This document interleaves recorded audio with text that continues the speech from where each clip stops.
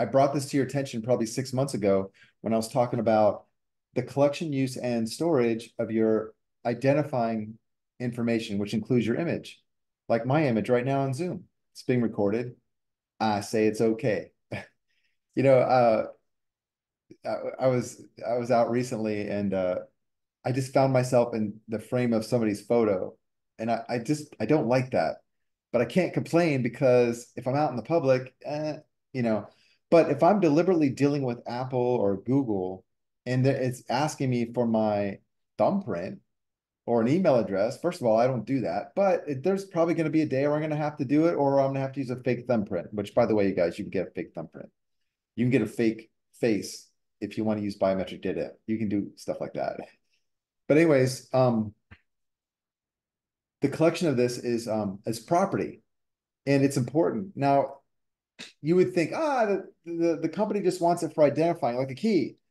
Yeah, well, you know, there's so many other ways to do it. Why do I need biometric data and biographical data for marketing? Come on, it's so easy.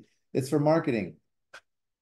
I, I went to a store the other day and the person said, Hey, you want some like cash discount or something? And I was just like kind of like not really paying attention. And I said, Yeah, sure, whatever. She goes, Oh, what's your phone number? And I just, you know, because it's so easy to remember, I just said it real fast.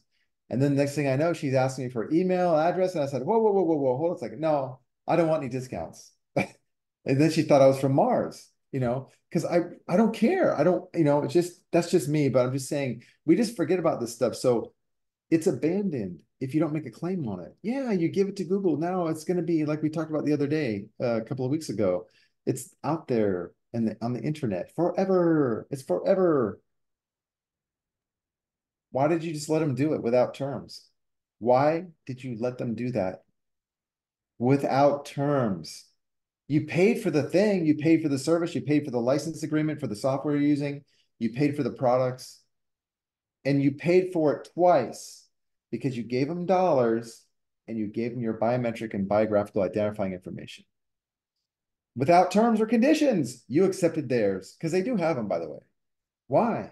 Because they're making money with your data. So you have every right to describe your data as property. It is private property. It's your intangible private property. Why? Because it's unique to you. If it's unique to yourself, then you can claim it as your property. Where, where is that, John? Where's the statute that says that? I don't know. I don't think there is one. I don't think the government's going to be that nice to make it so easy for us. But tell me I'm wrong that something that you're you're using or holding in your hand is not your property. My mom used to say possession is nine tenths of the law. So if I give you, say, go back real quick. So for for centuries, people have been using biometric data to communicate. I was say I was telling someone this to, to this day. I saw his face. He was shocked. He's like, "What? centuries. I said, well, think about it. A hundred years ago, you walk into your job in the morning and the boss says, Hey, Jim, what's up? Have a nice day. How does he know you're Jim? Because he recognizes your face from yesterday. Because he hired you, right? That's because he recognizes your biometric data. But we're in a different century now. And here's what's happening. Not only is a human being recognizing your data for one moment, it's permanent and it's stored in a device that you don't have control over. You'll ne- you never will. That's just our society right now. But you can make a claim on it. I think that's better. I mean, if you guys look at this stuff, my thinking is if I were you, I'd have 500 of these filed right now. 500 biometric security things. I showed you how to do one. You can keep on doing them. You can change them how you like. File them, file them, file them, file them. There's your data's everywhere. File and make a claim. Make the claim for just pennies. You don't need to make $80,000 for the use of your image. You don't have to do that. Just a few bucks, okay?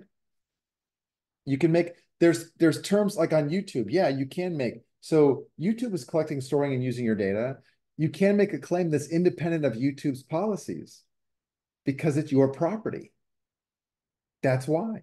You can make a claim that's independent with independent terms separate from the counterparty, okay, which is going to be the debtor, and separate from your lawmaker. Your lawmaker has pretty good laws. Illinois does. I think there's another state, I forget the other side, maybe Texas has pretty good laws regarding this uh, topic. But so what? I don't care what the laws are. I, I want to decide what's being done with my uh, my identifying information. So it's just something to uh, you know realize when you're dealing with that sort of thing.